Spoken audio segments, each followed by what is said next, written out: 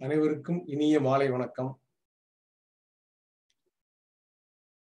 உங்கள் அனைவரையும் வருக வருக என்று வரவேற்கிறேன்.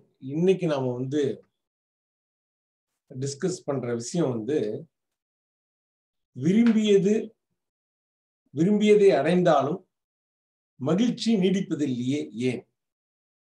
அப்படிங்கிறது தான் இன்னைக்கு.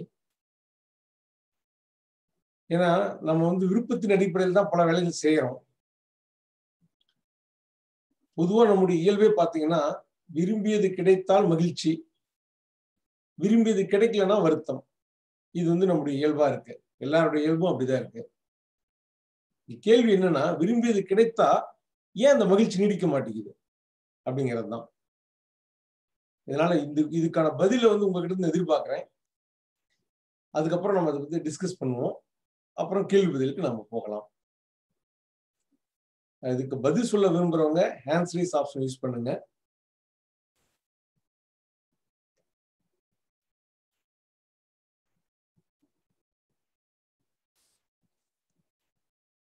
நான் பேசுறது கிளியரா கேக்குதுங்களா? கேக்குது. ஆ ஓகே ஓகே மகிழ்ச்சி. பேச்சு கிளியரா கேக்குறது ஐயா. கேக்குதுங்களா. ரொம்ப சந்தோஷங்க. ஓகேங்க. இப்ப இதுக்கு பதில் சொல்ல விரும்புறவங்க ஆன்சரிஸ் ஆப்ஷன் யூஸ் பண்ணுங்க. எதனால நம்முடைய மகிழ்ச்சி நீடிக்க மாட்டேங்குது? நான் ஒரு கருத்து தெரிவிக்க விரும்புறேன். சொல்லுங்க சொல்லுங்க. நான் என்ன நினைக்கிறேன்னா நம்ம விரு விரு ஏதாவது ஒண்ணு விரும்பினோம்னா அதை அடையறதுக்கு ரொம்ப ஆர்வமா அதை பத்தி ரொம்ப எக்ஸைட்டடா இருக்கும். கிடைச்சு நம்மளுதுன்னு வந்த பிறகு. அது நம்மளுது தானே அப்படின்னு தோணிடுறது அது மேல இருக்கிற இன்ட்ரெஸ்ட் குறைஞ்சு போயிடுறது. அதாவது நம்ம கிட்ட தானே அது இருக்கு அப்படிங்கிற மாதிரி ஒண்ணு வந்துடுறதாக எனக்கு தோன்றது நம்ம கிட்ட தான் இருக்கு அதை எப்ப வேணாலும் இது பண்ணிக்கலாம் போது அது மேல உள்ள ஆர்வம். இதுவா இருக்கு ஏன். நீடிச்சு இருக்கிறது இல்லைன்னா. எப்போதுமே திகட்டுதல்னு ஒண்ணு இருக்கு. அதாவது கிடைக்காத வரைக்கும் ஒரு எப்போதுமே தேடுதல்ல இருக்கிற ஒரு ஆர்வமும் மகிழ்ச்சியும் அடைஞ்ச பிறகு. இருக்கும்னு சொல்ல முடியாது. அதுதான் இருக்கு. நன்றிங்க ஐயா. ஓகேங்க ஓகேங்க. அம்மா நீங்க எங்க இருந்து பேசுறீங்க? நான் மயிலாப்பூர்ல இருந்து பேசுறேன். மயிலாப்பூர் ஜெயலட்சுமி எஸ் ஜெயலட்சுமி. ஓகே நான் இவ்வளவு நாளா யூஎஸ்ல இருந்தேன். அங்க ஹெல்டப் ஆயிட்டேன். டாக்டர் வீட்ல. ஓ ஓ. ம். ஓகேங்கம்மா நன்றி. நான் உங்களை மீட் பண்றேன். அடுத்தது நந்தகுமார் வந்திருக்காங்க. நந்தகுமார் உங்களை அட்மிட் பண்ணிருக்கேன் ஐயா மனதுங்கிறது பாத்தீங்கன்னா ஒரு ஃப்ளோல போயிட்டு இருக்குதுங்கய்யா. எல்லா ஏ- எல்லா உணர்ச்சிகளும் போயிட்டு இருக்குது. அதனால எந்த உணர்ச்சியுமே தக்க வைக்க முடியாதுங்கய்யா. அதுதான் ஒரு விஷயம். எதுவுமே நிலையானது கிடையாது. அது பாட்டுக்கு மூமெண்ட் பை மூமெண்ட் மாறிக்கிட்டே இருக்கு. ம் ம். அதனால இன்பம் மட்டும் கிடையாது. துன்பமும் பாத்தீங்கன்னா நிரந்தரமா புடிச்சு வைக்க முடியாதுங்கிறதா ஒரு மனதோட அம்சம். அதுதான் ஐயா ஓகே ஓகே. ரொம்ப நல்லது. ஓகேங்கய்யா. ரொம்ப நன்றி. உங்களை மீட் பண்றேன். லக்ஷ்மண் ஐயா வந்திருக்காங்க. ஐயா நீங்க எங்கிருந்து பேசுறீங்கன்னு சொல்லிட்டு பேசுங்க. உங்களை அட்மிட் பண்ணிக்கங்க நீங்க. வணக்கம் ஐயா. நான் பெங்களூர்ல இருந்து பேசுறேன். எங்க இருந்தீங்க பெங்களூர். பெங்களூர். ஆ ஐயா வணக்கம் வணக்கம். சொல்லுங்க. வணக்கம் ஐயா மனசு வந்து.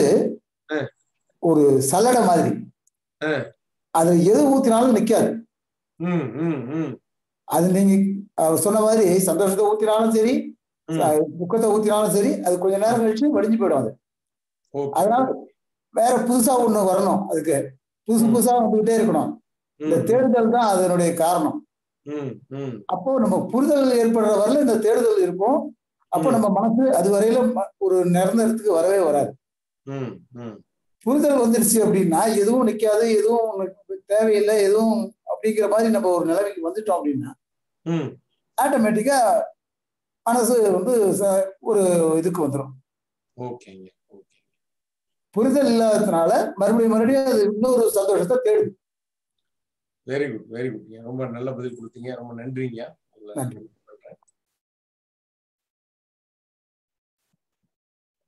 ஜெயபால் கந்தசாமி அவங்க வந்திருக்காங்க ஐயா உங்களை அட்மிட் பண்ணிருக்கேன். நீங்க எங்கிருந்து பேசுறீங்கன்னு சொல்லிட்டு பேசுங்க. வணக்கம். நான் சென்னையில இருந்து பேசுறேன். ஓகேங்க ஓகேங்க. வணக்கம். ஃபர்ஸ்ட் மீட்டிங் நான் ஐயா கிட்ட பேசிட்டு அவங்க குரூப்ல ஆட் பண்ணாங்க. அவங்களுடைய ஜூம் மீட்டிங் இன்னைக்கு வந்துச்சு. அப்படியா? ரொம்ப சந்தோஷம். ஓகேங்க ஓகேங்க. ஃபர்ஸ்ட் மீட்டிங் ரெண்டு நாள் முன்னாடி தான் குரூப்லயே சேர்த்துனாரு ஐயா தான் சேர்த்துனாரு. ஓ ஓ. ஃபர்ஸ்ட் மீட்டிங் ஓகேங்க ரொம்ப சந்தோஷங்க. சொல்லுங்க. நான் இங்க யோகா இது நான் yoga teacher here in Chennai oh oh. Okay okay எங்க எந்த ஏரியால எங்க இருக்கீங்க? வடபழனி. வடபழனி. ஓகேங்க இங்க எங்க இன்ஸ்டியூட் ரெண்டு மூணு இருக்கு. நான் பார்த்துட்டு இருக்கோம். அதாவதுங்க அதாவது விருப்பங்கள் நிறைவேறினாலும் மகிழ்ச்சி நீடிப்பதில்லை ஏன் அப்படின்றது கேள்வி. அதாவது விருப்பங்கள் என்பது தொடர்ந்து வந்துகிட்டே இருக்கு நமக்கு. ஒரு விருப்பம் முடிஞ்சதுன்னா அடுத்த விருப்பம் வந்துடுது. அதுக்குண்டான மகிழ்ச்சியோ துன்பமோ மாறி மாறி வந்துட்டு இருக்கு. ஸோ விருப்பங்கள் என்பது முடிவில்லாத அது ஏற்படுத்தக்கூடிய தாக்கமான மகிழ்ச்சியும் துக்கமும் நமக்கு மாறி மாறி வந்துகிட்டு தான் இருக்கும். மகிழ்ச்சி அந்த மகிழ்ச்சிகள் வேற வாழ்க்கையில நடக்கக்கூடிய அந்த சீன்கள் அந்த இயக்கங்கள் வேற அப்படின்ற அந்த பிரித்து பகுத்து பார்க்கக்கூடிய அந்த புரிதல் இருக்கும் பட்சத்துல நமக்கு மகிழ்ச்சி கிடையாது துன்பமும் கிடையாது.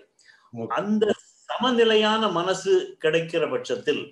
நமக்கு ஒரு பிரச்சனை கிடையாது ஆனா. மகிழ்ச்சி மகிழ்ச்சி இல்லாம போறது தப்பு இல்ல மகிழ்ச்சி இல்லாம போய் துன்பம் வர்றதுதான் தப்பு ம், துன்பத்தையும் மகிழ்ச்சியையும் அதன் உள்ள போய் விழாம. வெளியே பார்க்கக்கூடிய மனநிலை நமக்கு வேணும் அப்படின்றதுதான் முக்கியமான விஷயம் அதுக்கு பயிற்சிகளும் வேணும் நிறைய புரிதல்களும் வேணும். அவ்வளவுதான். Okay, okay. ஓகேங்க. நன்றிங்க. உங்களை மீட் பண்ணிடுறீங்க இன்னும் யாராவது பதில் கொடுக்க விரும்புறீங்களா? பதில் கொடுக்க பதில் கொடுக்க நினைக்கிறவங்க ஹேண்ட்ஸ் ரைஸ் ஆப்ஷன் யூஸ் பண்ணுங்க.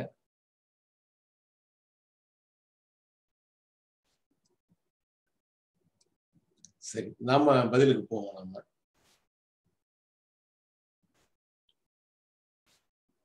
விருப்பங்கள் நிறைவேறினாலும் ஏன் மகிழ்ச்சி நீடிப்பதில்லை? இதுதான் இன்னைக்கு நம்ம எடுத்துக்கக்கூடிய தலைப்பு. பொதுவா பாத்தீங்கன்னா விரும்பியது நடந்தால் மகிழ்ச்சி ஏற்படுகிறது. விரும்பாதது நடந்தால் வருத்தம் ஏற்படுகிறது. இது வந்து இயற்கையா இருக்கு. எல்லாருக்குமே. விரும்பியது நடந்தாலும் அதனால் ஏற்படுகின்ற மகிழ்ச்சி தொடர்ந்து நீடிப்பதில்லையே. அது ஏன்? அப்படிங்கிறதா இன்னைக்கு நம்முடைய கேள்வியா நம்ம வச்சிருக்கோம். அதாவது நம்முடைய வாழ்க்கையே பார்த்தீங்கன்னா விருப்பத்தினுடைய அடிப்படையில் தான் நம்ம வாழ்வே அமைந்திருக்குது. அப்போ வந்து ஆசைப்படுறது வந்து தப்பா அப்படின்னு பார்த்தா ஆசைப்படாம இருக்க முடியாதே. ஆசை தானே நம்ம வாழ்க்கையை உருவாக்குறதே ஆசை தான். எல்லாமே ஒரு ஆசையின் அடிப்படையில் தானே. இந்த ஜூம் மீட்டிங்ல கலந்துக்கணுங்கிறது ஒரு ஆசை தான். இந்த விஷயங்களை உங்களோட பகிர்ந்துக்கணுங்கிறது ஒரு வகையான ஆசைகள் தான் ஆசைதான் அப்படின்னா விருப்பங்கள் ஆசைகள் என்றால் என்ன? அப்படின்னு ஒரு கேள்வி வச்சுக்கோ இந்த கேள்வியை நம்ம பொதுவாக கேட்டோம்னா இது தெரியாதுன்னு யாருமே சொல்ல மாட்டாங்க. எல்லாத்துக்குமே விருப்பம்னா என்னன்னு தெரியும் ஆசனா என்னன்னு தெரியும். ஆனா உண்மையில அது என்னன்னு தெரியலங்கிறது தான் உண்மையான விஷயம். அது தெரியாதனாலதான் அது சிக்கலே. ஆசனா என்ன விருப்பம்னா என்ன தெரிஞ்சிட்டோம்னு வச்சுங்களேன் இந்த சிக்கல் அதுல இருந்தே விடுபட்டுறலாம். ஒரு வேடிக்கையான ஒரு கதை சொல்லுவாங்க. இந்த மாதிரி ஒரு ஒரு இரவு விடிஞ்சா புத்தாண்டுன்னு வச்சுக்கோங்க. அந்த இரவுல எல்லாரும் நம்ம இதுவரையிலும் எத்தனையோ வேண்டுதல் வந்து இறைவன்ட்ட வச்சிருப்போம். எனக்கு கார் வேணும் எனக்கு நல்ல வாழ்க்கை அமையணும். ஏதோ வேண்டுதல் வச்சிருப்போம். அந்த பொருள் எனக்கு வேணும். நான் ஒரு வீடு வாங்கணும். இப்படி எத்தனையோ விருப்பங்கள் வந்து வச்சிருப்போம். இந்த விருப்பத்துக்கெல்லாம் சேர்ந்து ஒரு இறைவனுடைய அறிவிப்பு மாதிரி இரவுல வருது. எல்லாருக்கும் ஒரு அறிவிப்பு வருது நீங்க என்னன்னா உங்களுடைய விருப்பங்கள் என்னங்கிறத நீங்க ஒரு துண்டு சீட்டில் எழுதி பன்னெண்டு மணிக்கு வர உங்க பூஜாரிகளை வைங்க. காலையில உங்களுக்கு எல்லாம் கிடைக்கணும் ஒரு அறிவிப்பு வருதுன்னு வச்சுக்கோங்க. பல பேர் நம்புறாங்க நம்பல. சரி என்னமோ நம்ம எழுதி வைக்கலாமே சொல்லிட்டு எல்லாரும் அவங்க விருப்பத்துக்கு எழுதி வைக்கிறாங்க. ஒருத்தர் கார் வேணுங்கிறாரு ஒருத்தர் பங்களா வேணுங்கிறாரு. ஒருத்தர் வந்து என்னென்ன விரும்பின பொருள் டிவி எது எது வேணும்னு நினைக்கிறாங்களோ எல்லாமே ஒரு சீட்டில் எழுதி விருப்பத்தை அவங்களுடைய ஆசையை எழுதி வைக்கிறாங்க. காலையில் அதே மாதிரி பார்த்தா தூங்கி எழுந்துச்சு பார்த்தா எல்லா பொருட்களும் அவங்க கேட்ட பொருட்கள் எல்லாம் இருக்கு. எல்லாத்துக்குமே அளவு கடந்த மகிழ்ச்சி. எல்லையற்ற மகிழ்ச்சியில் இருக்காங்க. அப்புறம் தான் வெளியே வந்து பாக்குறாங்க பக்கத்து வீட்டுக்காரங்க என்ன வாங்கியிருக்காங்கன்னு பார்க்கும்போது தான் தெரியுது. நம்மளோட அவங்க வேற விதமா கிட்ட வாங்கியிருக்காங்க. இந்தாண்ட பார்க்கும்போது அவங்க வேற விதமா கிட்ட வாங்கியிருக்கிறாங்க. ஆனா அதை வாங்காம விட்டுட்டோமே. அதை இதை கேட்டிருக்கலாமே. அப்படிங்கும்போது அவங்களுக்கு கிடைச்ச மகிழ்ச்சி எல்லாமே இங்க காணாம போயிடுச்சு அவன் விருப்பம் எல்லாமே அடடா இதை மிஸ் பண்ணிட்டோமே அதை மிஸ் பண்ணிட்டோமே அப்படிங்கும்போது அவங்க கேட்டது கிடைச்சும் அவங்களுக்கு மகிழ்ச்சி கிடைக்கல. இந்த கதை மூலமா நம்ம தெரிஞ்சுக்க வேண்டியது என்ன? நாம் ஒரு விஷயத்தை புரிஞ்சுக்கணும். நாம் நினைக்கிறோம். அதாவது நம்ம விரும்பின பொருள் வாங்கினா மகிழ்ச்சின்னு நினைக்கிறோம். கார் வாங்கினா மகிழ்ச்சி. பங்களா வாங்கினா மகிழ்ச்சின்னு நினைக்கிறோம். ஆனா நாம ஒரு நிகழ்ச்சி நம்ம விரும்பின நிகழ்வு நடந்தா ஒரு மகிழ்ச்சி அப்படின்னு நினைக்கிறோம். உண்மையில நம்ம இந்த கார் பங்களா இந்த நிகழ்வு இதை விரும்புறோமா? இல்ல மகிழ்ச்சிங்கிற உணர்வை விரும்புறோமா? இங்கதான் நம்ம புரிஞ்சுக்க வேண்டிய ஒரு மையப்பகுதியே இருக்கு. நம்முடைய விருப்பம்ங்கிறது அந்த புற பொருள்கள் புற நிகழ்வுல இருக்கா? இது அதனால ஏற்படக்கூடிய அக உணர்வுல இருக்கா? இங்கதான் நம்ம புரிஞ்சுக்க வேண்டிய மிக முக்கியமான விஷயம். எல்லாரும் நினைக்கிறாங்க இது எல்லாமே பொருள்ல தான் இருக்கு. இதை வாங்கினா மகிழ்ச்சினாலதான் வாங்குறோம் அப்படின்னு நினைக்கிறாங்க. ஆனா உண்மையில என்னன்னு கேட்டீங்கன்னா நம்ம அக உணர்வு மேல காட்டக்கூடிய ஈடுபாடு தான் அந்த பொருளையே வாங்குறோம் ஈடுபாடு காரணமாக தான் அந்த பொருளை வாங்குறோம் இறுதியான கண்டுபிடிப்பு என்னன்னு பார்த்தா உண்மையில் துன்ப உணர்வை வேண்டாம் என்று வெறுக்கிறோம். இன்ப உணர்வை வேண்டும் என்று விரும்புகிறோம். இதுதான் நம்முடைய ஒட்டுமொத்த பிரச்சனைக்குமே காரணம். உணர்வு உண்மையில் உணர்வுகளின் மீது காட்டும் ஆர்வமே ஈடுபாடே அனைத்து மனப்பிரச்சனைக்கும் காரணம். இப்ப கார் வாங்கினா துன்பம்னு வந்துச்சுன்னு வச்சுக்கோங்க. யாராவது காரை வாங்குவாங்களா? யாருமே வாங்க மாட்டாங்க. காரை வாங்கினா மகிழ்ச்சிங்கிறதுனால தான் காரை வாங்குறாங்க. அப்போ வந்து நம்ம பொருள் மீத பொருத்தி பார்க்கிறோமே தவிர உண்மையில நம்ம விரும்புறது மகிழ்ச்சியை வெறுப்பது துன்பத்தை. மன துன்பத்தை வெறுக்கிறோம். மன மகிழ்ச்சியை விரும்புறோம். இதுதான் இப்ப இப்ப எல்லா பிரச்சனையுமே காரணம். நீ அந்த நிகழ்வுலையோ பொருள்லையோ நமக்கு உண்மையிலேயே பிரச்சனையே கிடையாது. இதுக்குதான் அப்போ வந்து என்ன பண்ணணும்? இதுக்கு தீர்வு தான் என்ன? இன்பம் துன்பம் என்பது புறம் சார்ந்த விஷயம் அல்ல. நமக்கு தீர்வு பெற வேண்டிய பகுதி வந்து நமக்கு அகம்தான். வேண்டுதல் வேண்டாமை இலானடி சேர்ந்தார்க்கு யாண்டும் இடும்பை இல.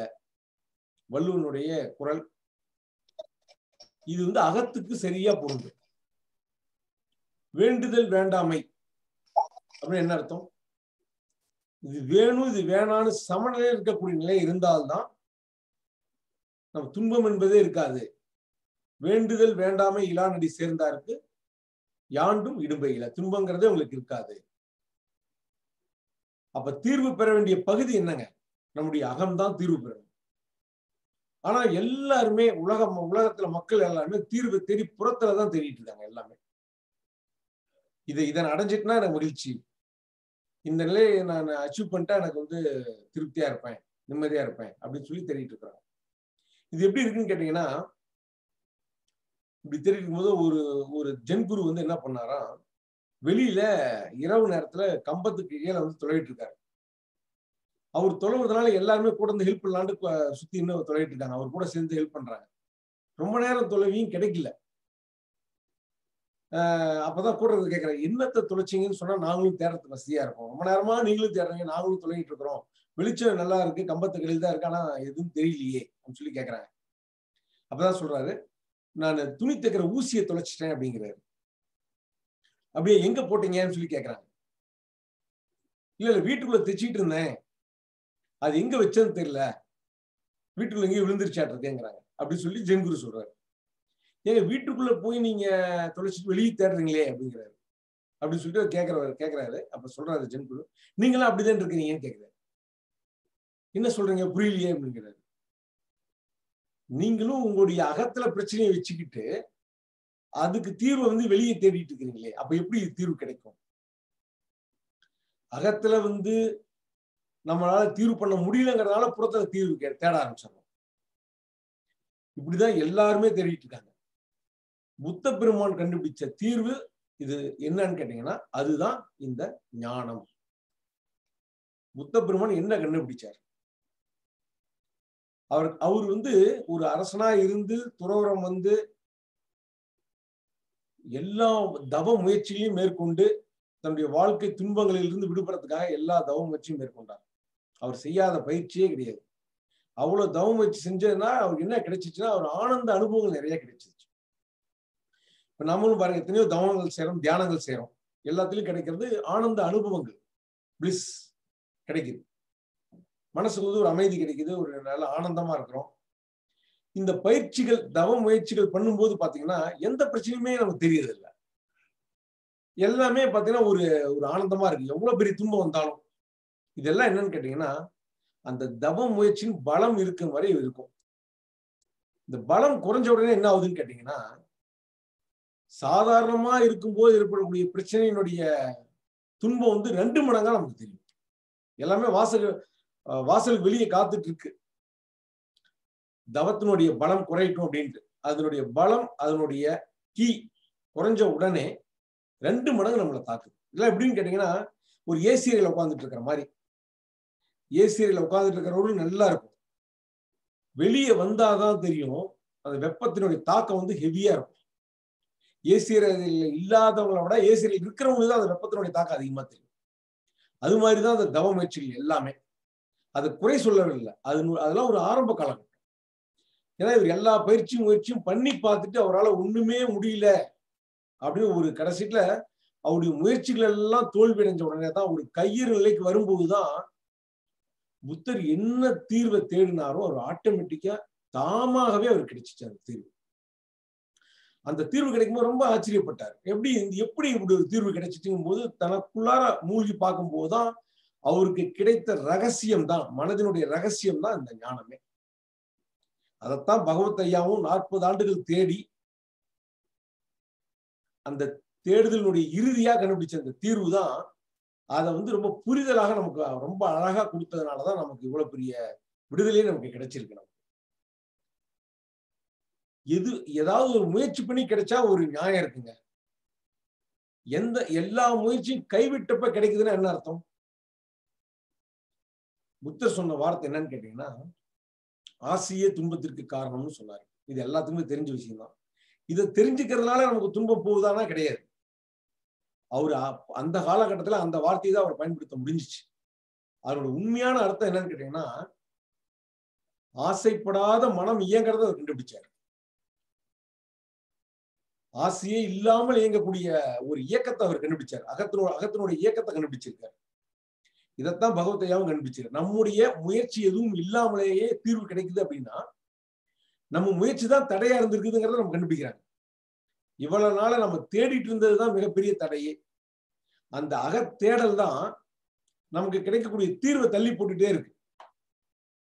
நம்ம எப்ப நம்ம தேடுதுதான் பிரச்சனை நம்ம தோல்வியை ஒத்துக்கிறோமோ ஒப்புக்கிட்டு நம்ம வந்து முயற்சி கைவிடுறோமோ அப்ப இந்த இயற்கையான இயக்கம் விடுதலை வந்து இயங்க ஆரம்பிச்சிருச்சு. அந்த தேடுதலற்ற மனதுல வந்து எதுவுமே தங்காது. தேடுதலற்ற மனம் இயங்குமானா இது இயங்கும். எல்லா மனமே இயற்கையா இயங்கிட்டு இருக்கு. நம்ம இயக்கிறது தான் பிரச்சனை. நம்ம இயக்கத்தை கைவிட்டோம்னா இயற்கையாக இயங்க ஆரம்பிக்கும் போது எந்த உணர்வுமே தங்கிறது கிடையாது. இன்பமும் தங்கிறது கிடையாது துன்பமும் தங்கிறது. அதுதான் நேச்சரா இருந்துட்டு இருக்கு. அப்போ வந்து அக உணர்வுகள் மீது காட்டக்கூடிய ஈடுபாடு தான் நம்முடைய அனைத்து பிரச்சனைக்குமே காரணம். அகத்துல நமக்கு வேலை இல்லை அப்படின்னு விடும்போது எந்த உணர்வுமே நீடிப்பதில்லை. துன்பமும் நீடிப்பதில்லை இன்பமும் நீடிப்பதில்லை. இந்த நிலைதான் விடுதலைன்னு நம்ம சொல்றோம். இதுதான் நமக்கு மனித குலத்துக்கு தேவையான மிகப்பெரிய ஒரு பொக்கிஷம். அதனுடைய பர்த் ரைட்ஸ் நம்மளுடைய பிறப்புரிமையா இருக்கக்கூடிய ஒரு விஷயம். நம்ம தேடும் போதுதான் அது தள்ளி போயிட்டே இருக்கு. அகத்தேடல் தேவையற்றது. அந்த அகத்தேடல் வந்து நம்ம அது நம்ம கைவசம் இல்லைன்னு எப்ப நம்ம கையிறலைக்கு வரமோ அதுக்கப்புறம் பாத்தீங்கன்னா நமக்கு இருப்பதெல்லாம் புறத்தேடல் தான். புறத்தேடல் தாராளமா வச்சுக்கலாம். ஒரு ஆசை வருது அப்படின்னா கூட இன்பது நாட்டம் இல்லாம அதை அதை வந்து அதனுடைய தர்ம நியாயத்துக்கு உட்பட்டு புறத்துல முயற்சி பண்ணும்போது அதெல்லாம் எந்த பிரச்சனையுமே கிடையாது. அதனுடைய விளைவு விளைவு மீது ஒரு நாட்டம் இல்லாம இருந்தா மட்டும் போதும். இது எனக்கு மகிழ்ச்சியை கொடுக்கணும். நான் எப்பயும் அமைதியா இருக்கணும் அப்படிங்கறதுதான் பிரச்சனையே உண்டாக்குது. நம்ம வரக்கூடிய தேவைகளை ஆசைகளை அவனுடைய தர்ம நியாயத்துக்கு உட்பட்டதான் பார்த்து அதற்கான திட்டமிடலோட செயல்படும் போது எந்த பிரச்சனையுமே கிடையாது. எனவே நமக்கு வந்து மகிழ்ச்சி நீடிக்கணுங்கிற அவசியம் இல்லை. விடுதலை தான் முக்கியம். விடுதலை என்பதும் இயல்பா இருக்கக்கூடிய ஒரு உண்மைதான். அது இயற்கையான விஷயம். இன்ப நாட்டத்தின் மீது இருக்கக்கூடிய ஈடுபாடு தான் நமக்கு தேவையற்றது. அப்ப இன்ப நாட்டம் தான் துன்பம் தெரிஞ்சுக்கிட்டோம்.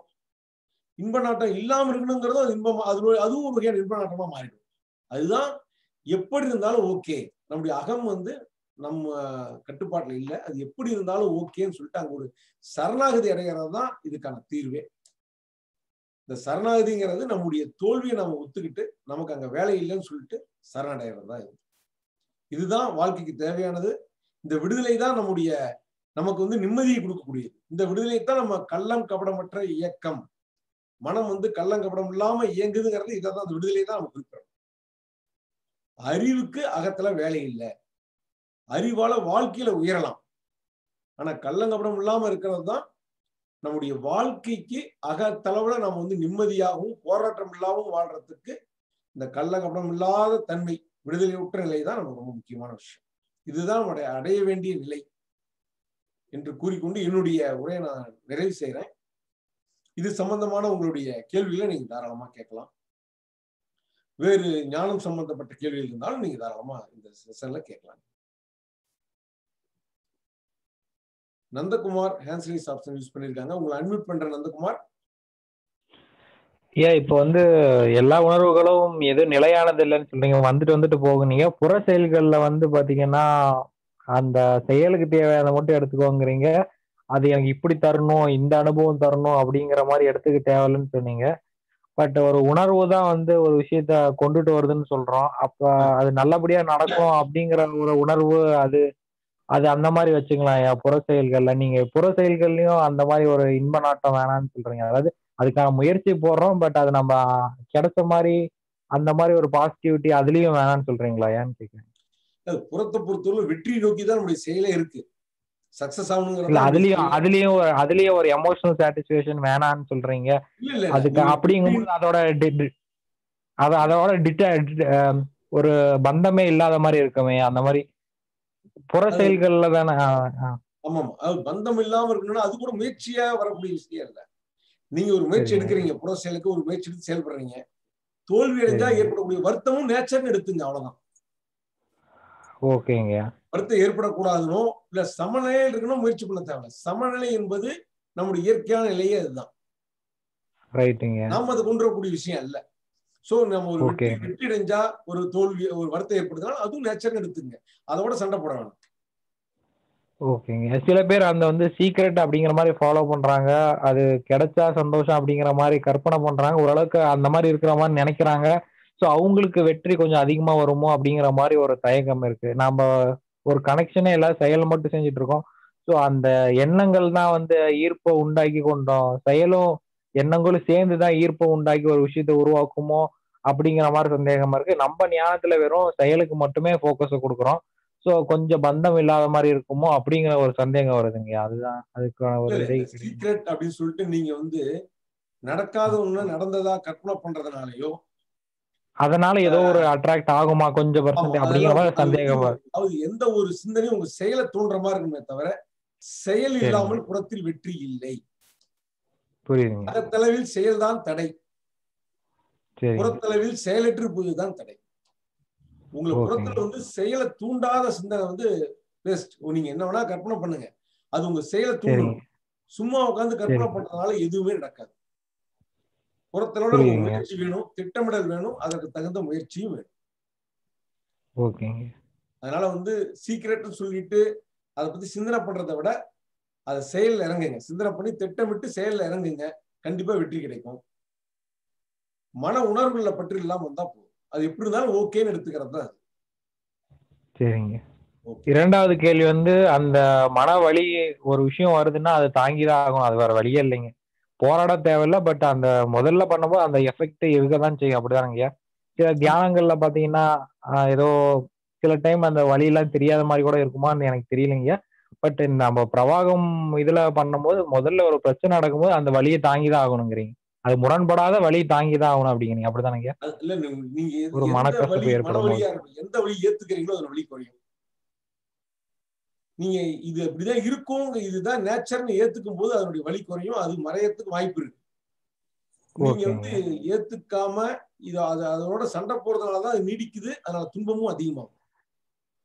ஓ அந்த வலி அந்த வலிங்கிற ஒரு உணர்வையும் கூட நம்ம வந்து அதை அப்படியே ஏத்துக்கணும் அப்படிங்கிறீங்க. அப்படிதான். அது ஏன் இப்படி வலிக்குது? இவ்வளவு வலி கொடுக்குதுன்ட்டு கூட அதையும் கூட ஆராய்ச்சி பண்ண வேணாங்கிறீங்க அப்படிதானேங்க அது- இது நேச்சர் இயற்கையின் இயக்கம் இப்படிதான் இருக்கு. ஒரு ஒரு தோல்வி ஏற்படும் போது உங்களுக்கு மகிழ்ச்சி வந்தா ஒரு முரணா இருக்கும்ல. கண்டிப்பா. அப்போ ஒரு ஒரு. கவலை வர்றதும் வருத்தம் வர்றதும் நேச்சர்னு எடுத்துங்க. ஆனா அங்க அதை நிர்வாகம் பண்ண வேண்டிய வேலை நமக்கு இல்ல. அந்த. தோல்வியை அதை நிவர்த்தி பண்றதுக்கு வாட் இஸ் த நெக்ஸ்ட் அப்படிங்கறத யோசிங்க. அதுதான் முக்கியமான விஷயம். சரிங்க.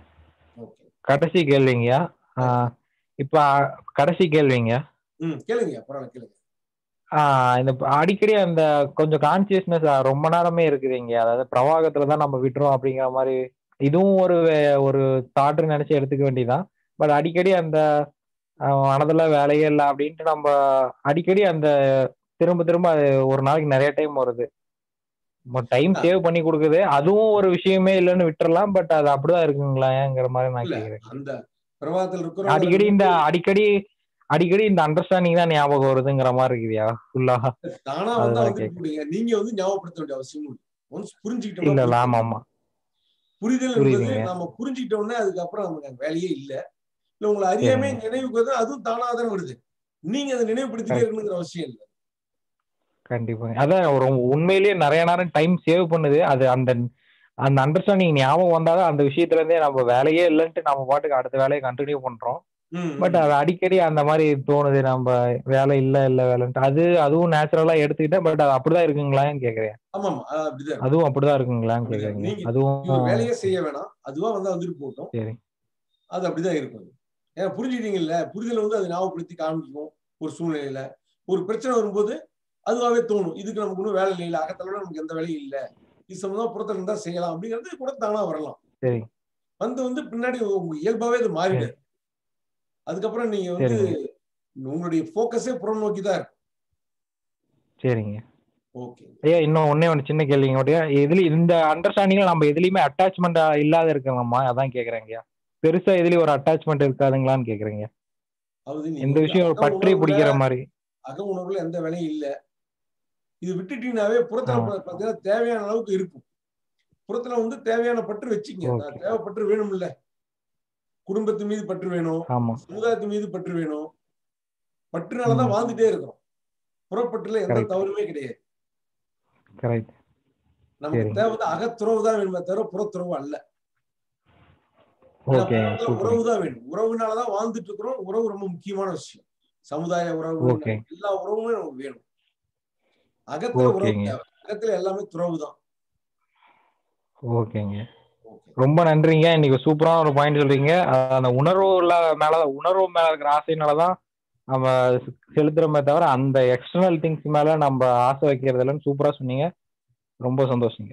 ரொம்ப மகிழ்ச்சி. அதாவது உண்மையான விஷயம் என்னன்னு கேட்டீங்கன்னா இதை நம்ம. புரிஞ்சுக்கிட்டோம்னா இந்த விடுதலை விடுதலை அடைஞ்சிட்டோம்னு வச்சுங்களேன் கண்டிப்பா. பாத்தீங்கன்னா தேவையற்றது மேல ஆசையே வராது. Okay correct. இந்த பேராசைங்கிறதுக்கே அங்க வழியே இல்லை. ஏன்னா நம்ம இந்த அகத்துல உணர்வு மேல இருக்கக்கூடிய பற்றினுடைய பற்றினுடைய விளைவு தான் புறத்துல நம்ம பொருட்கள் மேல ஆசைப்படுறது அதுக்காக செயல்படுறது எல்லாமே. இதெல்லாம் ஒரு தேவையின் அடிப்படையில் வச்சுக்க வேண்டியதே தவிர அந்த உணர்வு மீது இருக்கிற ஆசை தான் ரொம்ப அதிகப்படியான ஒரு பேராசையா வெளியே வச்சுங்களேன் அதுதான் துன்பத்தை கொடுக்கும். ஆமா ஆமா கண்டிப்பா சூப்பரான பாயிண்ட்டுங்க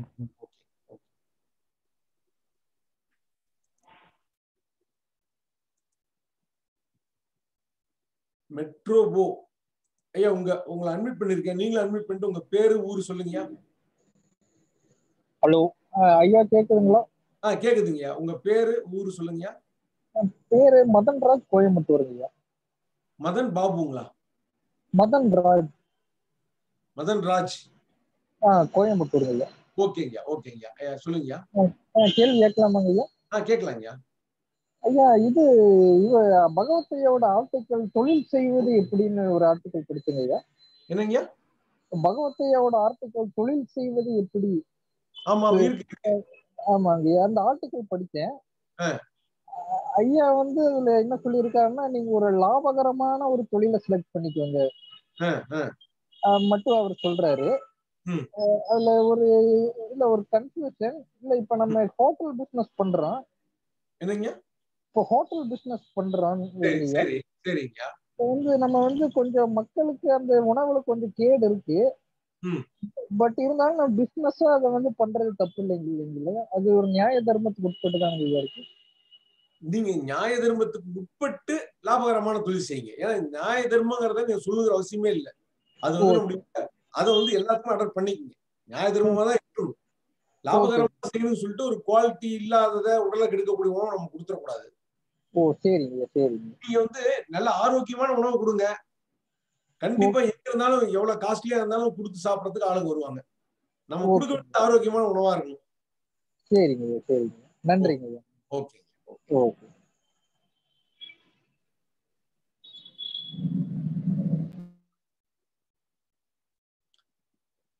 கேள்விகள் கேட்க விரும்புறவங்க ஹேண்ட்ஸ் ஆப்ஷன் யூஸ் பண்ணுங்க.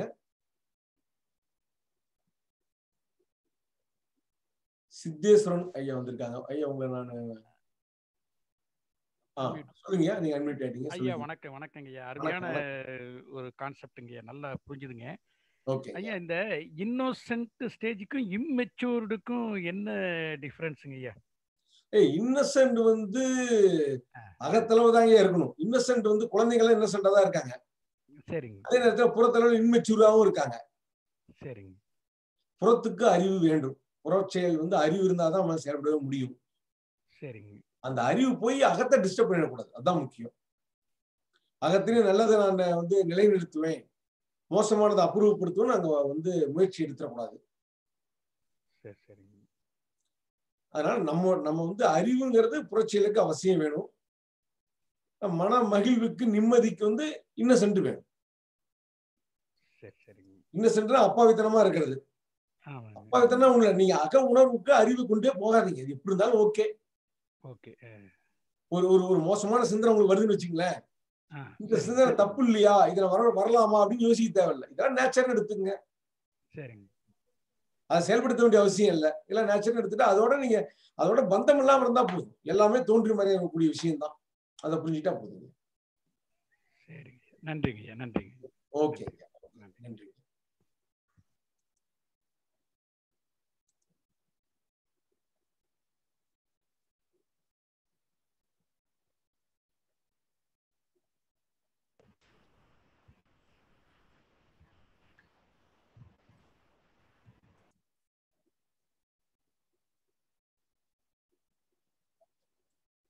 நந்தகுமார் வாங்க. சொல்லுங்க நந்தகுமார்.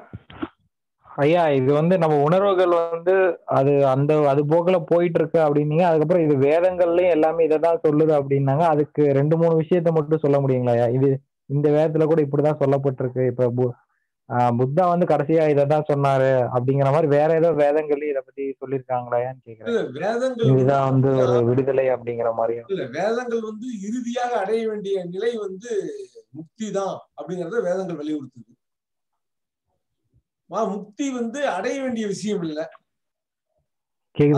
நம்ம டிஸ்டர்ப் பண்றதுனால தள்ளி போயிட்டு இருக்கு அறிவு போய் அகத்துல டிஸ்டர்ப் பண்றதுனால தள்ளி போயிட்டு இருக்கு அதை புரிஞ்சுக்கிட்டா போதும் நம்ம வந்து வாழ்க்கையினுடைய நோக்கம் என்ன? ஒரு கேள்வி கேட்கிறேன். வெற்றி பெறுதல் அப்படின்னா என்ன? வாழ்க்கையில் வெற்றி அடைதல். அப்படின்னா எதை மீன் பண்றேன்னு பாருங்க. கொஞ்சம் யோசனை பண்ணி பாருங்க. மகிழ்ச்சி ஒரு இன்- மகிழ்ச்சிய ஒரு சந்தோஷமான இதுக்கு போறோம். கார் கிடைச்சா சந்தோஷம் ஒரு வேலை கிடைச்சா சந்தோஷம் ஒரு மனைவி கிடைச்சா சந்தோஷம். அதனால ஒரு ஒரு விடுதலை நீங்க சொன்ன மாதிரி அவ்வளவுதான் மன நிம்மதிக்காக போறோம். அதுக்காக போறோம். இல்ல இல்ல பொதுவா வெற்றினாவே எல்லாம் நினைக்கிறாங்க? ஒரு நல்ல உயர்ந்த நிலை அடையணும். ஆமாங்க. பொருளாதாரத்துல மிகப்பெரிய வளர்ச்சி தொழில்ல மிகப்பெரிய வளர்ச்சி இல்ல உயர்ந்த பதவி இப்படி எத்தையோ வச்சுக்கிறோம்னு. வச்சுக்கோங்க. எல்லாம் இருந்தும் மன நிம்மதி இல்லைன்னு வச்சுக்கோங்க. மனதுல போராட்டமா இருக்குன்னு வச்சுக்கோங்க. அது வெற்றியா? கிடையாது. முதன்மையான வெற்றி அப்படிங்கிறது என்னன்னு கேட்டீங்கன்னா விடுதலை தான். விடுதலைக்கு அப்புறம் என்ன வேணாலும் அடைஞ்சுக்கலாம். எல்லா முயற்சியும் பண்ணுங்க. புறத்துல சாதிக்கிறதுக்கு நிறைய இருக்கு. ஆனா முதன்மை முதன்மையான வெற்றி அப்படிங்கிறது முதன்மையான தேவை அப்படிங்கிறது இந்த விடுதலை தான் அந்த விடுதலையை வந்து இயற்கை நமக்கு இயற்கை நமக்கு கொடுத்துருக்கக்கூடிய விஷயம். கண்டிப்பாங்க. அதனுடைய நம்முடைய நேச்சர் அப்படிங்கறத கண்டுபிடிக்கிறது தான் மிகப்பெரிய வேலையா இருக்கு. சரிங்க.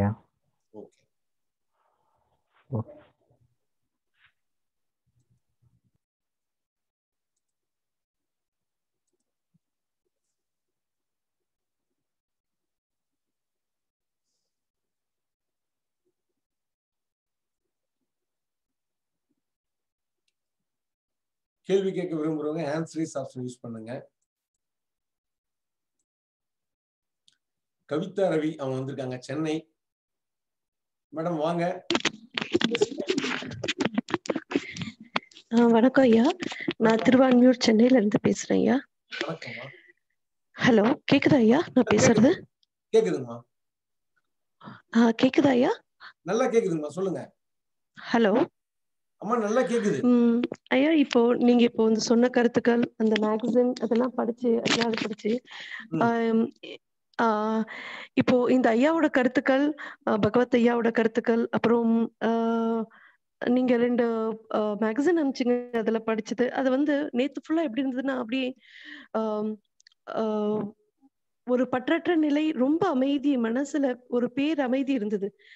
ஆனா இன்னைக்கு வந்து என்னுடைய வேலையில அலுவல்ல அது பண்ணும்போது அந்த. மாதிரி எதுவுமே எனக்கு பண்ண முடியல. ஏன்னா என்னுடைய இந்த புற வாழ்வுல தான் என்னால எல்லா கவனத்தையும் என்னால செலுத்த முடியுது. ஐயோ நம்ம மறந்துட்டோமே அப்படின்னு நினைச்சிட்டு திரும்பி போறதுக்குள்ள அந்த எல்லா தாட்டும் போயிடுது. நான் அதே நேத்து மாதிரி அதே மாதிரி இருக்கிறதுக்கு என்ன பண்ணணும்? எதுவும் பண்ணக்கூடாதுங்கிறது தான் சரியான பதில் ஏன்னா நீங்க நிம்மதியை தேட தேட அது போயிட்டே தான் இருக்கும். இந்த தேடல் எப்படின்னு கேட்டீங்கன்னா அகத்தேடலை பொறுத்தவரை எப்படின்னு கேட்டீங்கன்னா நம்ம. நிழல் நிழலை டச் பண்றேன்னு போயிட்டே இருக்கிற மாதிரி தான். இன்னைக்கு தீர்வு கிடைக்கும். நம்ம முன்னாடி நம்முடைய நிழல் விழுது. நிழலுடைய தலையில நான் காலை வைக்க போறேன்ட்டு நீங்க நடந்துட்டே இருக்கிறீங்கன்னு வச்சுக்கோங்க. நீங்க போக போக அதுவும் போயிட்டு தான் இருக்கும். எப்ப நீங்க தேடுதல் விடுறீங்களோ அப்ப நீங்களும் நீங்களும் அது ஒண்ணுதான். இது வந்து என்னன்னு கேட்டீங்கன்னா நம்ம தேடும் போது ரெண்டாயிரம் ஆக்சுவலா இங்க இருக்கிறதே ஒண்ணுதான். இதுதான் ஒன்னஸ் இதை புரிஞ்சுக்கிறது தான் ஒன்னஸ் நம்ம வந்து இது- வந்து நம்ம தேடும் போதோ அல்லது ஒரு சரியமை சரி பண்ணணும் சீரமைக்கணுங்கிற ஒரு முயற்சி எடுக்கும் போது டியூல் ஆயிரும். டியூல் தான் பிரச்சனையே. இருக்கிறது இருந்துட்டு போகுது. நமக்கு தேவையான வேலையில கவனம் செலுத்துங்க. இப்போ நான் வந்து இதுக்குள்ள இது வெளியில இருந்து தான் இந்த கடல் பாக்குறேன். இப்பதான் முதல் கடல் இருக்குன்ற மாதிரி எனக்கு இப்பதான் தெரிஞ்சிருக்கு. இப்போ இந்த அமைதி நேத்து நான் அனுபவிச்ச இந்த அமைதி ஆனந்தத்தை இப்போ என் பையனுக்கு பதிமூணு வயசு ஆகுது இதை நான் அவனுக்கு கன்வே பண்ண விரும்புறேன். ஆனா அதுக்கான தகுதியோ அதுக்கான எதுவுமே என்கிட்ட இல்ல. நீங்க இதே மாதிரி குழந்தைங்களுக்கு ஜூம் பண்ணி ஒரு போட்டு மீட்டிங் போட்டு குழந்தைங்களுக்குன்னு ஒண்ணு பண்ணா அது ரொம்ப நல்லா இருக்கும்னு என்னுடைய கருத்து ஐயா. இல்ல இந்த மேகசின்ல நீங்க போட்டு சொல்லுங்க. இல்ல குழந்தைங்களுக்கு இதுக்கு கொடுக்கவே முடியாது. ஏன்னா குழந்தைங்க அப்படிதான் இருக்கிறாங்க. அவங்க கெடாம பாதுகாக்கலாம். குழந்தைங்க இல்லை. இன்னசென்டா தான் இருக்காங்க. இப்போ வந்து குழந்தைங்க வந்து இப்போ வந்து ஆன்லைன் கிளாஸஸ் தான் போறாங்க எல்லாருமே. ஏன்னா இப்போ அது கம்பல்சரி அது யூஸ் பண்ற சுச்சுவேஷன் இப்போ ஆல் ஓவர் வேர்ல்டு வந்துருச்சு. ஸோ ஒரு ஒரு ஒரு விதமான பதட்டம் ஒரு பேர எல்லா பேரண்ட்ஸ்க்கும் இப்போ ஒரு பயம் உள்ளுக்குள்ள இருக்கு. ஸோ இது வந்து இதுக்கான அறிவு அதுக்கான ஒரு குழந்தைங்களை வந்து ஒரு பாதுகாக்கப்படுற ஒரு ஏதாவது ஒரு ஏற்பாட்டு பண்ணி தர முடியுமா இந்த சமுதாயத்துக்கு? கண்டிப்பா கண்டிப்பா. வந்து ஐயா ஒரு நூல் எழுதிட்டு இருக்காங்க அந்த நூலுக்கு இன்னும் தலைப்பினர் வைக்கல. இப்போதைக்கு பாத்தீங்கன்னா இந்த ஜனவரி மாதத்தினுடைய ஆர்டிகல் பாத்தீங்கன்னா மாணவர் நலம் அப்படின்னு சொல்லிட்டு அந்த ஆர்டிகல் எழுதி அந்த நூலினுடைய முன்னுரையும் முதல் அத்தியாயமும் நம்ம போட்டிருக்கோம். அதனாலதான் நான் கேட்டேன் இது வந்து பாத்தீங்கன்னா இது இதை நோக்கி தான் ஐயா எழுதிட்டு இருக்காங்க உண்மையில என்னன்னா நம்ம வந்து ஒரு இந்த தெளிவு நமக்கு கிடைச்சிச்சுன்னா நாம எப்படி குழந்தைங்களை ஹேண்டில் பண்றங்கிற தெளிவு நமக்கு வந்துடும் ஆட்டோமேட்டிக்கா நாம வந்து இதை புரிஞ்சுக்கணும்.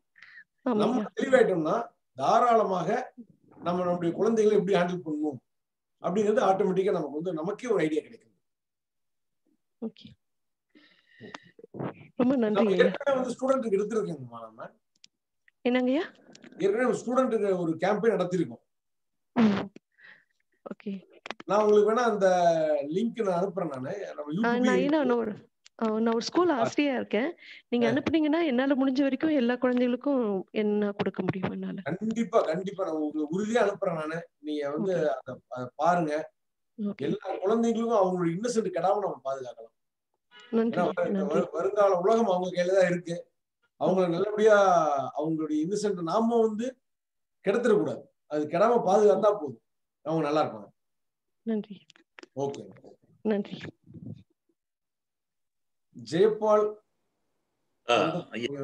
ஐயா வாங்க பேசுங்க அதாவது ஆஹ், ஐயாவுடைய புத்தகங்கள் படித்தேன் ஆடியோ கேட்டேன் நிறைய வீடியோஸ்லாம் கேட்டிருக்கேன். எனக்கு ஜென்ரலாக ஒரு சின்ன டவுட்டு ஓகே அதாவது வந்து அதாவது திங்கிங் அண்ட் தாட் இந்த டிஃப்ரென்சியேஷன் அந்த தாட்ஸ் வந்து விட்டுடலாம் நம்ம திங்கிங்ல வந்து தான் நம்ம இஷ்யூஸ் கிரியேட் ஆகுது அப்படின்றதெல்லாம் நிறைய சொல்லியிருக்காங்க. அதாவது இப்போ ஒரு சுச்சுவேஷன்ல ஒரு உணர்வு நமக்கு அதிகமா வருது அப்படின்றப்போ அந்த உணர்வுல அப்ப வந்து இந்த புரிதல் வந்து அப்ப ஞாபகம் வரமாட்டேங்குது. அந்த ஒரு உதாரணத்துக்கு ஒரு ஒருத்தர் சொல்றாங்க ஒரு கோபம் வந்துருது அப்படின்னா கோபத்தை வந்து நான் கோபம் வரக்கூடாதுன்னு நான் சொல்ல வரல கோபம் என்பதும் மகிழ்ச்சி என்பதும் துன்பம் வந்து வரும். ஆனா அதை வந்து நம்ம எக்ஸிக்யூட் பண்ணி அது கூட ஃபாலோ பண்ணி அதை அட்ரஸ் பண்ணி அதிகமா பண்றது தான் பிரச்சனைக்கு உரியதாகுது. அந்த நேரத்துல அதை அட்ரஸ் பண்ணாம இருக்கக்கூடிய அந்த ஒரு பாஸ் கொஞ்சம் நிதானம் அப்படின்ற அந்த விஷயம் நமக்கு பிராக்டிக்கலா அதை எப்படி எக்ஸிகியூஷன் புரிதல். புரிதல் இருக்கு. இப்போ வந்து நான் பலவான் ஆகணும் அப்படின்ற புரிதல் எனக்கு இருக்குன்னா நான் ஜிம்முக்கு போய் பிராக்டிஸ் பண்ணா தான் நான் பலவான் ஆக முடியும். நான். வேற ஒண்ணு கத்துக்கணும் அப்படின்னு நினைச்சு நான் உட்காந்து எனக்கு இருக்கு அப்படின்னு நான் உட்கார்ந்துட்டு இருந்தேன்னா முடியாது. அதை எப்படி நான் இம்ப்ளிமெண்ட் பண்றது? எப்படி எக்ஸிக்யூட் பண்றதுன்றதுக்கு என்ன விதமான பயிற்சிகள் ஐயா உங்க இதுல இருந்ததுல இருக்குன்றது கொஞ்சம் சொல்ல முடியுமா பாருங்க. ஐயா ஆக்சுவலா ஒரு பயிற்சி மூலமா நம்ம ஒரு விஷயத்தை அடையிறோம்னு வச்சுங்களேன். அது நீடிப்பது இல்ல. ஒரு பயிற்சி விட்ட உடனே கொஞ்ச நாள்ல பார்த்து ஜிம்முக்கே போறீங்க. ஒர்க் அவுட் பண்ணீங்கன்னா ரொம்ப நல்லா இருக்கும். ஒரு அஞ்சாறு அஞ்சாறு வருஷம் விட்டுட்டீங்கன்னா பழையபடிக்கே உடம்பு மாறிடும். அந்த ஸ்டிப்னஸ் எல்லாம் குறைஞ்சிரும். பயிற்சியால ஒரு விஷயம் கிடைக்குது அப்படின்னா அது வந்து நம்ம விட்டு போறதுக்கான சான்ஸ் இருக்கு. போயிடும் கண்டிப்பா. இது வந்து பயிற்சியே கிடையாது. பயிற்சியை கைவிடுறது தான் இங்க மிக முக்கியமான விஷயமே. இந்த புரிதல் தான் ரொம்ப முக்கியம். என்னன்னு கேட்டீங்கன்னா நமக்கு அங்க வேலை இல்லைன்னு புரிஞ்சுக்கிறத போய் எப்படி பயிற்சி செய்ய முடியும்? நமக்கு ஒரு வேலை செய்யணும்னா பயிற்சி செய்யலாம். பட் அங்க நமக்கு வேலை இல்லைன்னு நம்ம சரணாகதி அடையணும். நம்ம நம்முடைய வேலைகள் எல்லாம் நம்முடைய முயற்சி முயற்சியெல்லாம் கைவிட வேண்டிய இடத்துல போய் நம்ம பயிற்சி செய்ய வேண்டிய அவசியமே இல்லை. நம்ம வந்து புரிஞ்சுக்கிறதோடயே வேலை முடிஞ்சு போயிடும் புரிஞ்சுக்கிறது வரையிலும் வேலை இருக்கு. புரிஞ்சுக்கிட்ட வினாடி நமக்கு அங்க அங்க வேலையே கிடையாதுங்கிறது தான் நிதர்சனமான உண்மை. இது எப்படின்னு கேட்டீங்கன்னா அவன் மறந்து போயிடுமே அப்படின்னா புரிஞ்சது புரிஞ்சது தான் உங்களுக்கு லேட்டா கூட ஞாபகம் வரலாம். எப்போ உங்களுக்கு தெரியுதோ அதுக்கு மேலதான் நீங்க அங்க வரீங்க அது ஒரு நீங்க உங்க அறியாம நீங்க வந்து போராடி இருக்கலாம் உங்க- உங்களை அறியாம நீங்க சண்டை போட்டுருக்கலாம். எது வேணா நடந்திருக்கலாம். புரிஞ்ச வினாடி அது எப்போ முடியும் ஞாபகம் வருதோ அப்ப விட்டுருங்க போதும். நீங்க இதுக்காக நீங்க முயற்சி பண்ணீங்கன்னா நீங்க வந்து ஞாபகம் வச்சுக்கணும் ஞாபகம் வச்சுக்கணும் முயற்சி பண்ணீங்கன்னா இது கூட தேவையற்றது தான்.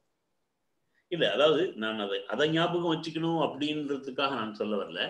ஜென்ரல் இப்போ வந்து நம்ம உடல் ஆரோக்கியமா இருக்கணும் அப்படின்னா நம்முடைய உணவு பழக்கங்கள் சரியா இருக்கணும் சரியான நேரத்துல தூங்கணும் சரியான நேரத்துல எந்திரிக்கணும் அப்படின்ற சில பழக்க வழக்கங்கள் இருக்கு.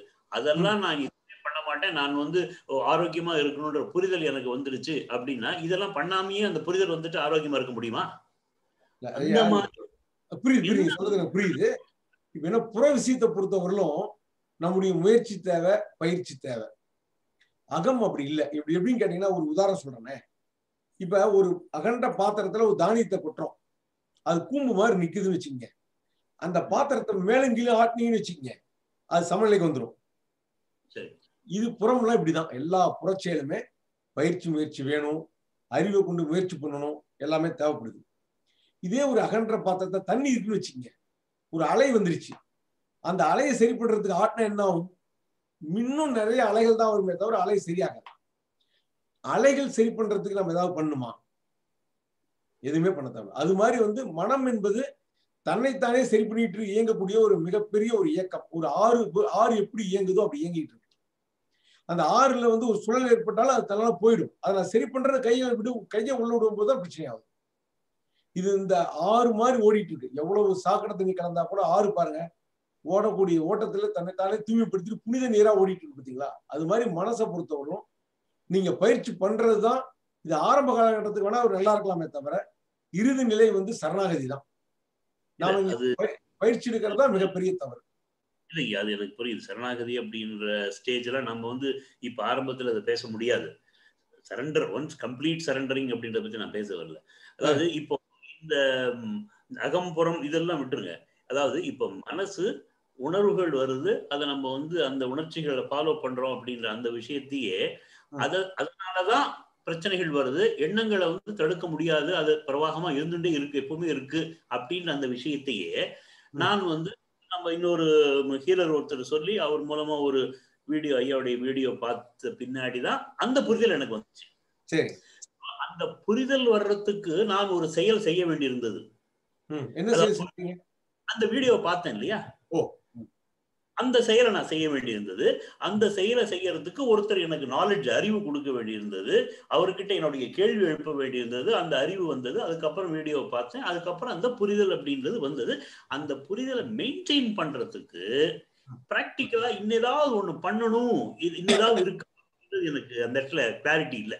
அது அதாங்க. நம்ம என்ன சொல்ல வரோம்னா புரிந்து கொள்ளும் வரை நமக்கு வேலை இருக்கு. நீங்க வந்து யாரோ உங்களுக்கு உங்களுக்கு வந்து இதை பத்தி இன்ஃபார்ம் பண்ணணும். நீங்க அந்த வீடியோவை பார்க்கணும். அதில் இருக்கக்கூடிய டவுட் எல்லாம் உங்களுக்கு அப்ப நிறைய சந்தேகங்கள் வரலாம். சந்தேகத்துக்கான விளக்கங்கள் கிடைக்கணும். எல்லாமே கரெக்ட் நம்ம புரிஞ்சுக்கிறது என்னன்னா பயிற்சி உதவாதுங்கிறது தான் நமக்கு புரிஞ்சுக்கிறோமே. இந்த புரிதலுக்கு அப்புறம் நமக்கு ஒட்டு மொத்தமா எந்த வேலையுமே இல்லைங்கிறது தான் நம்ம தெரிஞ்சுக்க வேண்டிய விஷயம்.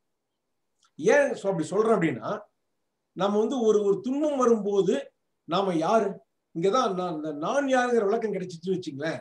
நமக்கு வந்து எந்த பயிற்சியும் உதவாதுங்கிறத ஈஸியா புரிஞ்சுக்கலாம். ஏன் அப்படி சொல்றேன்னா என்ன ஒரு அனுபவம் ஏற்படுதோ அந்த அனுபவம் ஏற்படும் போது அதை உணரக்கூடியவன் அந்த அனுபவிப்பவனாக உணரணும்.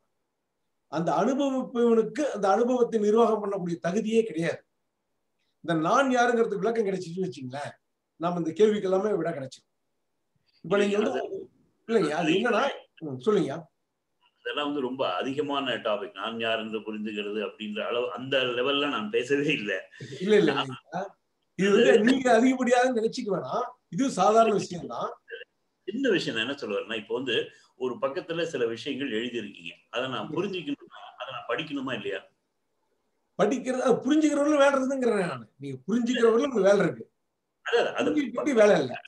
படிக்கிறதுக்கு எனக்கு படிக்க தெரியணும் இல்ல அதுக்கு நான் வந்து எழுத்து படிச்சிருக்கணும்ல தமிழ் படிச்சிருக்கணும் இல்ல அப்பத்தானே நான் அதை படிக்க முடியும்? இல்ல படிக்க தெரியாதவங்க ஆடியோ கேட்டு கூட புரிஞ்சுக்கலாம். நம்ம சொல்றது புரிதல் தான் ரொம்ப முக்கியமான விஷயம். நீங்க சொல்றது புரியுது எனக்கு. இன்னொரு விஷயம் நான் சொல்றேன் உங்களுக்கு. இந்த சரணாகதி எல்லாம் பெரிய இதுன்னு கூட யோசிக்காதீங்க. சரணாகதியை முயற்சி பண்ணி கொண்டு வரவே முடியாது. நமக்கு அங்க வேலை இல்லைன்னு கண்டுபிடிக்கிறது தான் மிக முக்கியமான விஷயம். நமக்கு இந்த கண்டுபிடிப்பு தான் சரணாகதி ஏற்படுத்துது. நான் ஒண்ணும் இல்லைங்க. சும்மா இருன்னு சொல்றேன் நான். சும்மா இருக்கிறது நீங்க முயற்சி பண்ணாவோ பயிற்சி பண்ணாவோ உங்களால சும்மா இருக்க முடியாது. முடியாது. கரெக்ட்டுங்களா? இங்க சும்மா இருக்கிறதுக்கு என்ன வேணும்னா நமக்கு அங்க வேலை இல்லைன்னு கண்டுபிடிக்கிறது தான் முக்கியமான விஷயம். இங்க நீங்க முயற்சி பண்ணி நீங்க சும்மா இருத்தல் தான் இந்த ஞானம். நீங்க முயற்சி பண்ணி உங்களால சும்மா இருக்க முடியுமா? இல்ல பயிற்சி பண்ணி சும்மா இருக்க முடியுமா?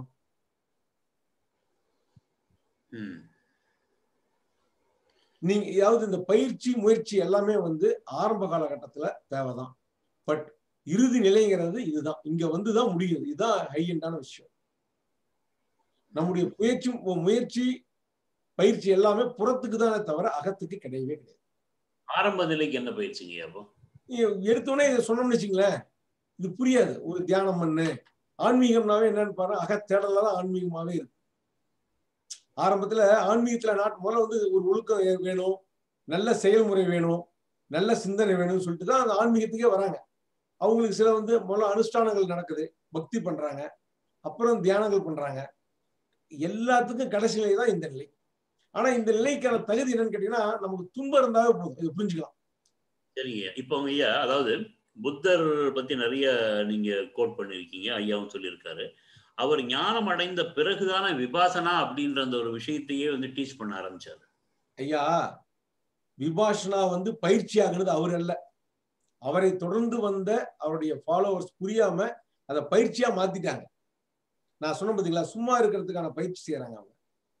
பயிற்சி தான் சும்மா இருக்கவே விடாது. இதுதான் விபாசனாங்கிறது இந்த புரிதலுக்கு அப்புறம் ஏற்படக்கூடிய வாழ்க்கையை விபாசனா வச்சுங்களேன் அதாவது அது- அதனுடைய முடிவு எண்டு வந்து நீங்க சொல்றது. அதே மாதிரி இப்ப நம்ம பதஞ்சலியினுடைய எடுத்துட்டீங்கன்னா அஷ்டாங்க யோகத்துல முதல்ல யம நியம அப்புறம் சில விஷயங்கள்லாம் முடிச்சுட்டு அதுக்கப்புறம் தாரணை அப்படின்றதுலதான் வந்து கான்சென்ட்ரேஷன் அதுக்கப்புறம் எண்டுல தியானம் சர அப்போ அப்போ தியானத்தை பத்தி பேசுறப்போ யோகாசனத்தை பத்தியோ வாழ்க்கை முறை பத்தியோ பேச வேண்டிய அவசியம் இல்லை. ஆனால் அதை அடைவதற்கு இந்த படிகள் தேவைப்படுகிறது ஒரு பக்குவப்படுவதற்கு தேவைப்படுகிறது அப்படிங்கிற மாதிரி ஏதாவது இருக்கா அப்படிங்கிறத. இருக்குங்க. அதாவதுயா ஒரு குளத்துல குளிக்கிறதுக்கு படியில இறங்கி போய் குளிக்கலாம். மேல இருந்து அப்படியே குதிச்சும் குளிக்கலாம். ஆனால் எதுவா இருந்தாலும் குதிச்சு தண்ணி கடியில போன உடனே நம்ம வந்து தலைகளாக தான் போயாகணும் இந்த ப- நியமங்கள் படி ஸ்டெப் பை ஸ்டெப்பா வர்றது வந்து கடைசியாவும் வரக்கூடிய நிலை இதுதான். எங்க வந்தாலும் நம்முடைய கையற நிலையை நாம புரிஞ்சுக்காம நாம வந்து இந்த சரணாகதிக்கு வரவே முடியாது. இது வந்து ஐயா கொடுக்கறது வந்து அண்டர்ஸ்டாண்டிங் மெத்தட்ல ரொம்ப சிம்பிளிஃபை பண்ணிட்டாரு இதை. இது இந்த விஷயத்துல வந்து நம்ம வந்து என்னன்னு கேட்டீங்கன்னா நம்முடைய கையிற நிலையை தான் புரிஞ்சுக்கிறோம் நம்ம புரிஞ்சுக்கிறது வேற வெறும் கருத்தா வச்சிருக்கிறது வேற. அந்த புரிதல் வந்து ஐயா கொடுத்தாலும் சரி இல்ல யார் கொடுத்தாலும் சரி புரிஞ்சுக்கும் போது நம்முடைய புரிதலா மாறும் ஒரு கருத்தா வச்சுக்கிட்டோம்னா அது பயன்படவே பயன்படாது. நம்முடைய புரிதலா மாறினா மட்டும்தான் நம்ம கண்டுபிடிச்சாதான் நம்ம அந்த கைநிலைக்கு போவோம். அங்கிருந்து நம்ம நமக்கு அங்க வேலை இல்லைங்கிறத கண்டுபிடிப்போம் நம்ம. அதுதான் சரணாகதியை கொடுக்குமே தவிர கருத்தளவில் வைப்பது எந்த பயனும் கொடுக்காது அது Okay. சந்தேகங்களை தான் கொடுக்கும். ஓகே மறுபடியும் மறுபடியும் பேசுவோம் மறுபடியும் கண்டிப்பா வாங்க. நீங்க இன்னும் நிறைய புக் எல்லாம் படிங்க. தொடர்ந்து நீங்க பேசணும்னா கூட பர்சனலா போன்ல கூட பேசுங்க. உங்க. ஆர்வத்துக்கு ரொம்ப மகிழ்ச்சிங்க. ரொம்ப நன்றி. நன்றி. Thank you okay okay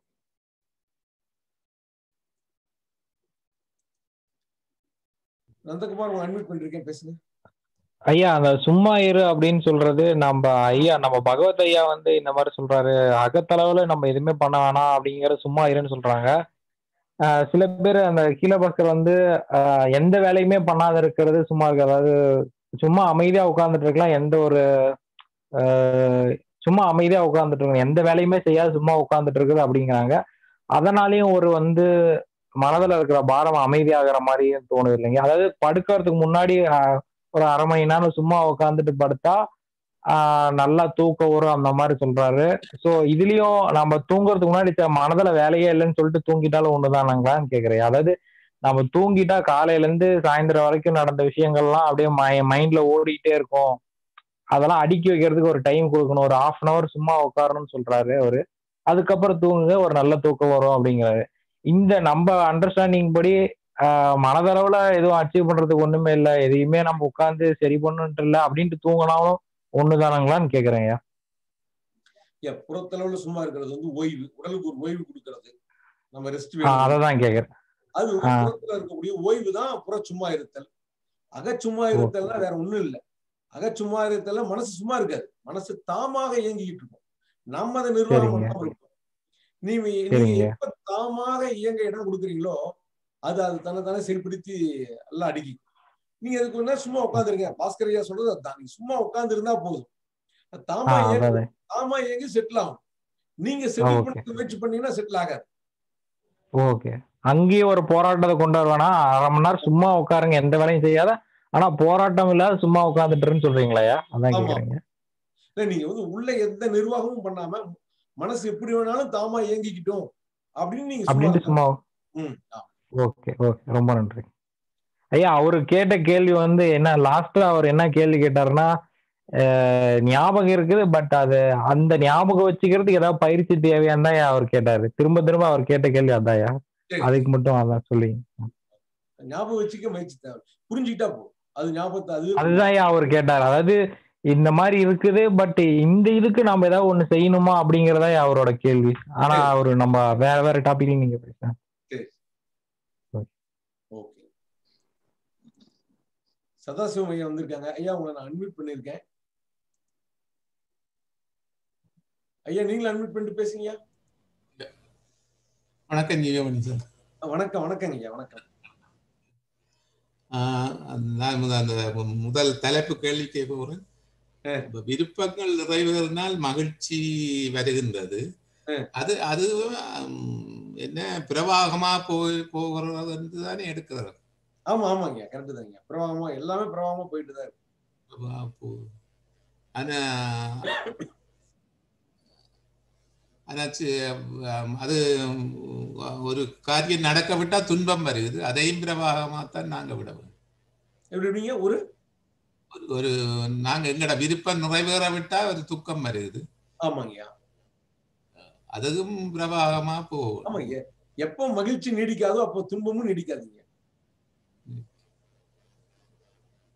ரெண்டு எல்லாமே பிரவாகமா போயிட்டு தான் இருக்கு. எங்களுக்கு ஒரே ஒரு வேலை புறத்துல தான் வேலை. ஆமா ஆமாங்க. ஓகே. ஓகேங்க ஓகேங்க. ரொம்ப மகிழ்ச்சி மகிழ்ச்சிங்க ஓகேங்க.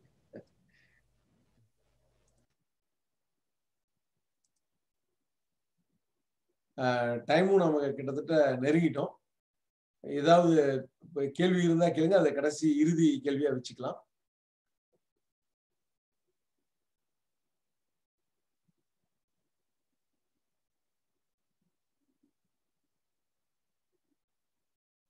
கேள்விகள் எது இல்லைன்னா நம்ம நிறைவு பண்ணிடுவோம். ஓகே. அனைவருக்கும் நன்றி மகிழ்ச்சி வணக்கம்.